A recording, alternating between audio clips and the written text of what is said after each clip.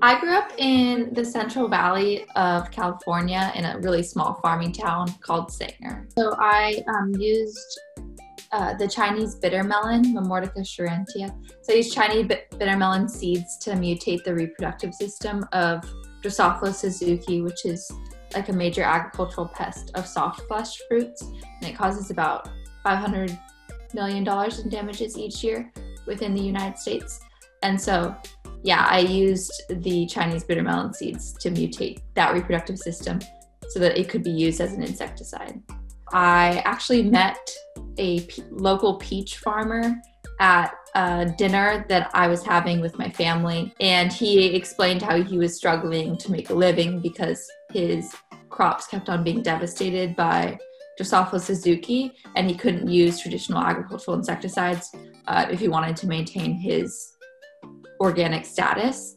And so then I like kind of just thought about it for a couple months. I like didn't really do anything much about it, and then I was talking with the science fair advisor for our region and he was telling me about old wives' tales related to Chinese bitter melon and about how they induce sterility and have um, inhibiting effects on sperm count and reproduction in mammals and humans. And so I started researching that further and found that there that um, Chinese bitter melon has in fact been used. So I thought maybe I could transfer it to being used on an invertebrate like Drosophila suzukii, which is a fruit fly. We'd purchased the Chinese bitter melon from local Asian markets in oh, okay. large quantities. We were like, they probably thought we were crazy because we'd just go in and purchase like 40 bitter melons and that's it. I think the initial challenge was I didn't have a lot of science background outside of my elementary and middle school classes and I couldn't find because I grew up in a small town. There weren't any like major research labs that could like help me out with designing the experiment or provide me with like, lab space to work in.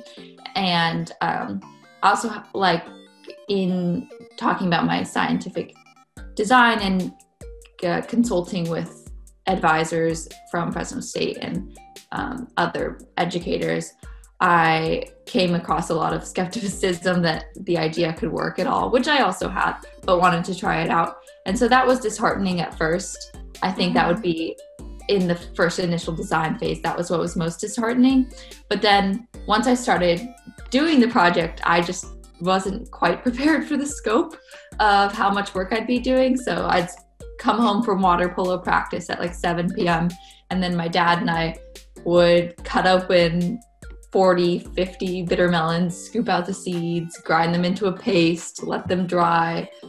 Um, and so he was super helpful with that. That was definitely like learning how to balance ac- my academic pursuits and my fun, as well as my science fair experiment, was hard for me at first. So I did find that there was a inhibitory effect on fecundity um, with the bitter melon concentration at 2.5 and 5%. There's no real path that will get you to where you need to go. You learn a lot along the way. Um, mm-hmm. And just enjoy learning those things, even if it isn't like a straight and narrow path. Do what you're passionate about, um, even if it's not the thing that everyone else thinks is the most exciting or groundbreaking. If you're passionate about it, that passion will come through in your work.